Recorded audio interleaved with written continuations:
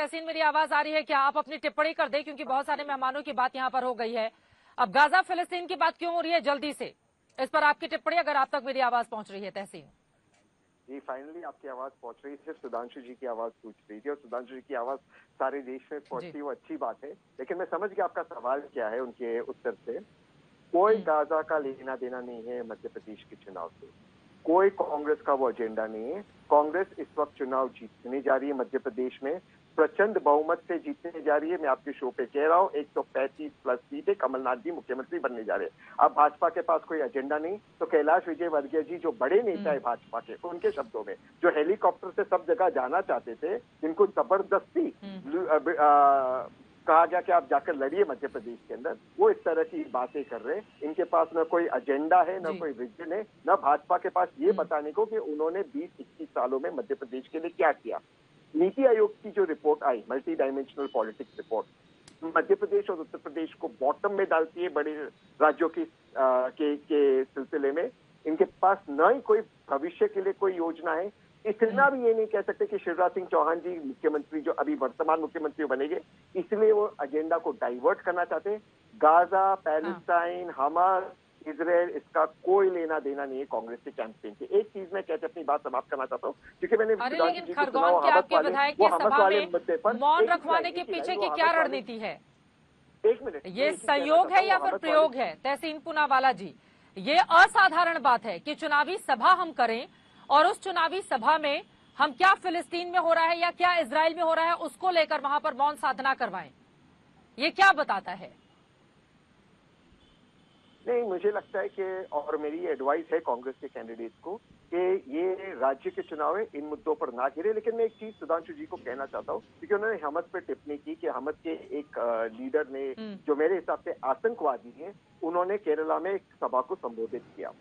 मैं आज सुधांशु जी को बड़े विनम्रता से पूछना चाहता हूँ क्या देश का एनआईए और देश के माननीय गृह मंत्री इतने आ, इतने उनको कुछ पता नहीं देश में क्या हो रहा है कि एक आतंकवादी आकर संबोधित करता है एक राज्य में और एनआईए केस की जाँच नहीं करती एनआईए उसे रोकती नहीं स्टेट गवर्नमेंट उसे नहीं रोकता उसे कांग्रेस का क्या लेने देना? स्टेट गवर्नमेंट लेफ़्ट की सेंट्रल गवर्नमेंट भाजपा की इनको मिलकर रोकना चाहिए। दूसरी चीज़ मैं कहना चाहता हूँ भाजपा ने आज तक हमस को एक आतंकवादी संगठन घोषित नहीं किया।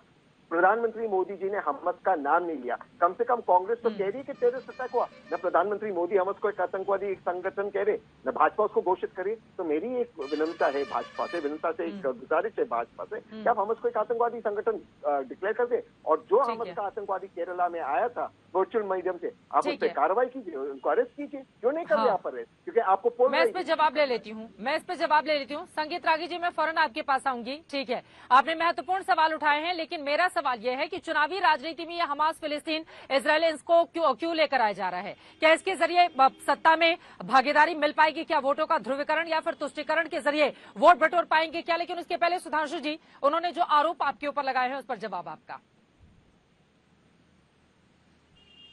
आ, शायद तहसीन जी का आ, फ़ोन कनेक्टेड नहीं था तो वो सुन नहीं पाए थे। उन्होंने कहा कि कांग्रेस इसको मुद्दे पे नहीं ला रही है पर मैं पुनः आपको बस एक ही वाक्य रिमाइंड कर देता सीडब्ल्यूडीसी के रेजोल्यूशन में हमास का नाम नहीं, फिलिस्तीन का नाम है, ये उससे बड़ा कोई है कांग्रेस में। फिर सोनिया गांधी जी का आर्टिकल है, उससे बड़ा है कोई कांग्रेस में। प्रियंका गांधी जी का ट्वीट है, उससे बड़ा है कोई कांग्रेस में। अरे बड़ा हो या छुटका, सब लगे हुए हैं इसी काम में। और मैं राशिद किदवई जी की बात का जवाब देता हूँ। उन्होंने कहा ना कि कोई पार्टी क्यों ऐसा चाहेगी? वो कह रहे मुसलमान 10 परसेंट से कम है तो वहाँ। जनाब सिर्फ़ मध्य प्रदेश नहीं जब इंटरनेशनल बात हो रही है तो टारगेट नेशनल है। और वो जानते मध्य प्रदेश में भी क्या है? चूँकि कांग्रेस को लग रहा है कि हार उनको सुनिश्चित नज़र आ रही है तो एक और डर है। उसका बीजेपी से मतलब नहीं है कट्टरपंथी मुसलमान भाजपा को वोट नहीं देता। मुसलमान भाजपा को वोट करता है राष्ट्रवादी मुसलमान। कट्टरपंथी मुसलमान का वोट का तो झगड़ा इंडिया गठबंधन में है। इसीलिए मेरे हिसाब से बकौल कमलनाथ, वो जो अखिलेश वकिलेश वाली पार्टी है ना, वो डर है वो कुछ वोट न ले जाए, इसलिए उससे बचा के रखना है। इसीलिए ये तथाकथित आईएनडीए वालों ने तो सबने कांग्रेस ही तो छीना था इनको। बिहार में लालू जी ले गए थे उत्तर प्रदेश में मुलायम सिंह जी ले गए थे बंगाल में ममता जी ले गई। वो जो गीता का ज्ञान है ना जो कल तुम्हारा था आज मेरा है कल किसी और का ना हो जाए ये उसकी लड़ाई है राशिद जी। आप तो प्रबुद्ध पत्रकार हैं आप समझ रहे होंगे। इसलिए ये हो रहा है। और जो तहसीन जी ने बात कही अंत में देखिए उस घटना के बारे में जाँच एनआईए बिल्कुल कर रही है।